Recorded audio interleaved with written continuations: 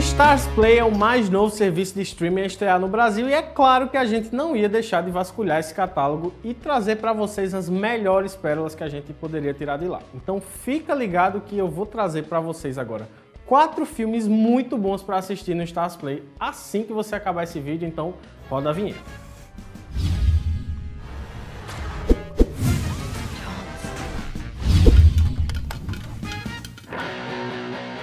Da lista é um filme dirigido por ninguém mais, ninguém menos que Quentin Tarantino, lançado ali no final de 2012, claro que eu estou falando de Django Livre.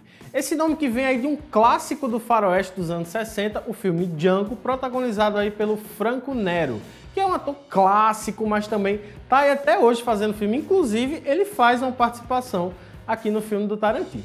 A história se passa ali no ano de 1858, perto da Guerra Civil Americana, quando o escravo Django, interpretado pelo Jamie Foxx, ele é libertado pelo caçador de recompensas Dr. King Schultz, o papel que rendeu aí o segundo Oscar para o Christopher Watts, que também ganhou por Bastardos Inglórios, mais um do Tarantino.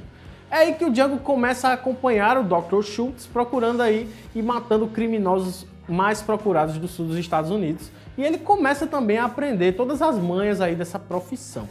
Ele começa a fazer tudo isso, não só também por tomar gosto pelo negócio, mas porque ele queria encontrar e resgatar a esposa dele, a Bromilda, que ela foi comprada pelo fazendeiro Calvin Candle, que é um dos fazendeiros mais cruéis da região.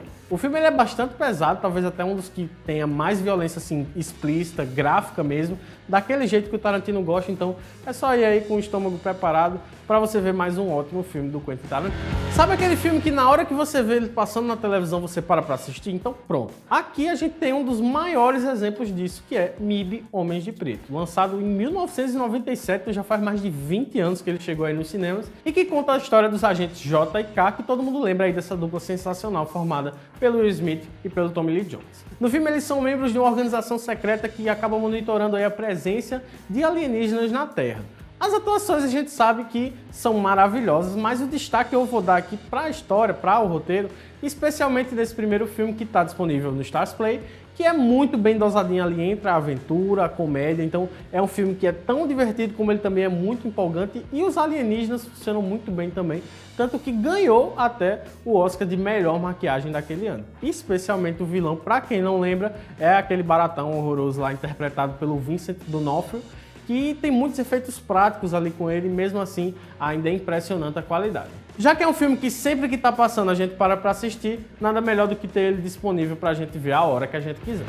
Antes de continuar aqui, eu vou pedir rapidinho para você se inscrever no canal e também deixar um like se você estiver gostando, porque isso ajuda demais a gente a saber aqui se vocês estão curtindo esse conteúdo que a gente está trazendo para vocês, tá certo?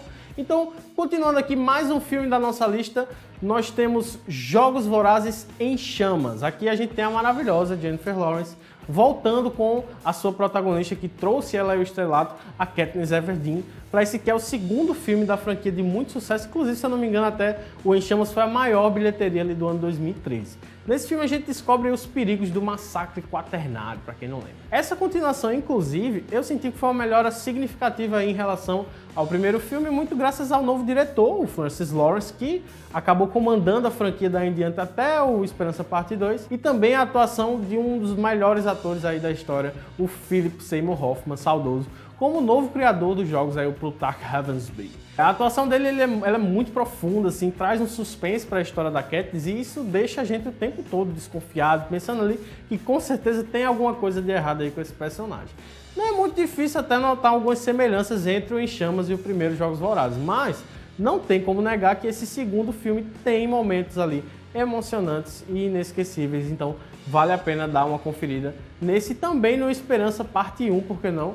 Já que esse também está disponível aí no Star.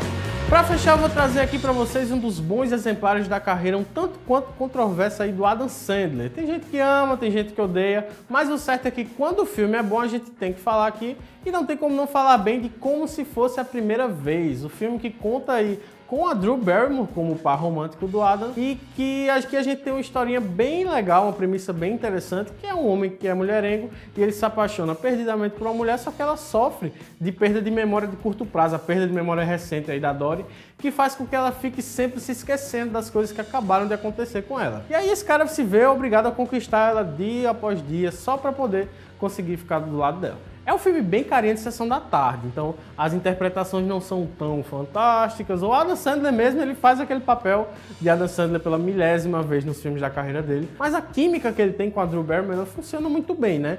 E a forma como toda essa história é contada, ela consegue prender você. Então, mesmo quando todos aqueles clichês estão lá presentes, sempre que a gente vê nesse gênero, a gente consegue gostar da história. Então, é aquela, se você gosta de uma comédia romântica e quer uma opção rápida aí para ver no Stars Play, com certeza vai entreter, então pode ir sem medo que como se fosse a primeira vez não vai decepcionar, tá certo? Com isso eu fico por aqui, então não se esquece de se inscrever no canal e também ativar o sininho. Se gostou, já sabe, deixa um like, por favor. E também comenta, porque a gente vai saber um pouco mais se você tá, já assinou o Stars Play, conta aí o que é que você está assistindo, traz aí mais algumas sugestões. Eu sou o Menino Martinho e fico por aqui. Até a próxima, tchau.